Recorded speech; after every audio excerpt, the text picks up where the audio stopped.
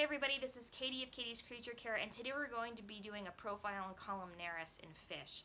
So um, I reviewed like four or five different sources including the super beefy 17 page scientific article which I did for you guys. I thought I was done with this when I was in college. Um, but I'm going to be just reviewing the all these different articles and just giving you guys a snapshot of what they all talked about. So um, we're going to talk about what is columnaris, we're going to talk about how to ID it, how to treat it, and how to prevent it. Um, so this is a really hard disease to diagnose, which is why I've gotten multiple requests uh, about to do this video. And once you get it, it often will wipe out your whole tank unchecked. So um, let's talk about what it is. It is a bacteria naturally found in aquatic environments and it also thrives at higher temperatures. So in some of my articles I read, um, they talked about this can really impact fisheries. So a lot of the resources, the scientific resources, were about how to lessen the impact of columnaris in fisheries, but there's still good take home for uh, the, aqu the aquarium hobby as well, and they mentioned the aquarium hobby in those articles.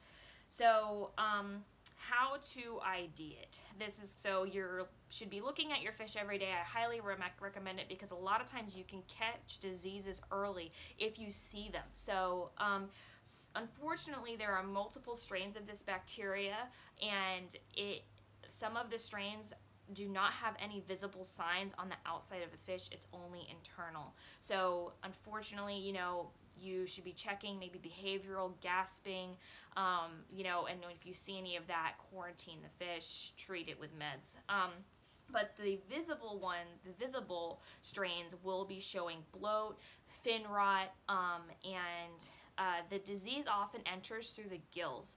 So, and it causes necrotic gill tissue, which means just dying gill tissue. So where it should be a really healthy pink, you will see it will be brown. So, and this is often if you have a fish that you're bringing from the store, the gills is where that bacteria comes from and it will spread to your tank. So if you can see the gills, which on maybe a tetra, it may be really hard, but on a goldfish, since they're bigger, they may be easier. You're looking for brown, pale tissue that does not look like it's really healthy and it reduces the the uh, surface area of the lamellae on the gills so they can't get oxygen as well. So that's why it's so detrimental.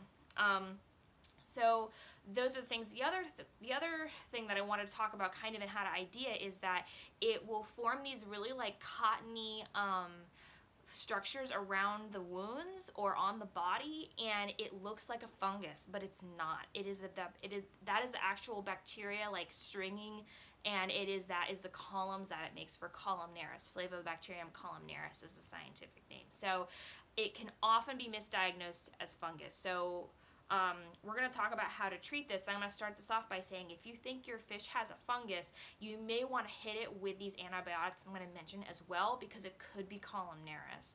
And if you feel really strongly that you do have columnaris and it's in your community tank, a bunch of the uh, articles that I read highly recommended that you treat your whole tank because it can pass on from one to another and is it worth losing your whole tank or is it are you willing to just treat the one in a quarantine tank so if you see that these fish have these um, signs of columnaris, um, the couple meds that they definitely said that would hit the bacteria are Furan 2 and KanaPlex.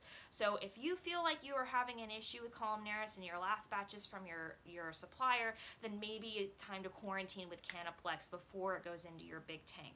And they also said that internal, so the non-visible strains of the bacteria can be affected by medicating the fish food in KanaPlex and actually one of the articles that I read said that they brought some fish back from the edge uh, after having medicated with KanaPlex food. So with a food with KanaPlex in it. So that way they're getting that antibiotic not just externally, they're getting it internally, and that's really important.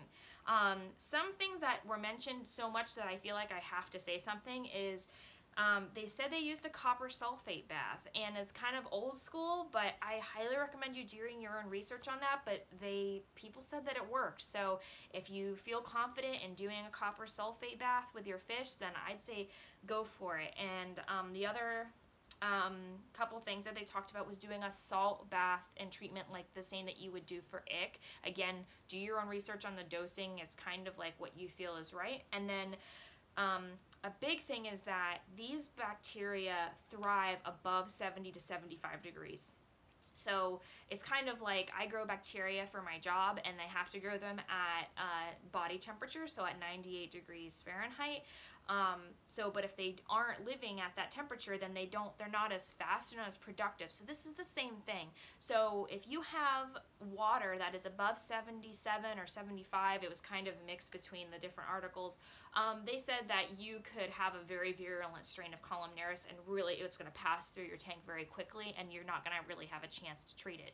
So if you feel like you have this, if this disease it was often said that you immediately lower your temperature below 75. So just something that definitely is important to uh, keep uh, an eye on when you're looking at your fish. And they also said that high bioload can also encourage this bacteria to grow, so clean water is also really important. So that's kind of leading us into preventative care, which I'm really just to say is you're keeping a lower temperature in your fish tank if you can. I know some fish can't really deal with that. Um, uh, making sure that your water's clean and you're often doing water changes and regular maintenance and quarantine QT quarantine your fish with the with the meds. It, definitely something that I highly recommend. I know we don't want to quarantine the fish. We want to put them into our beautiful display tank and it's going to be great, but is it worth killing everything else in your tank? You know, it's just one of those things that you have to learn and make a judgment call on. And you may say, Katie, I did the Furan 2 and it didn't work.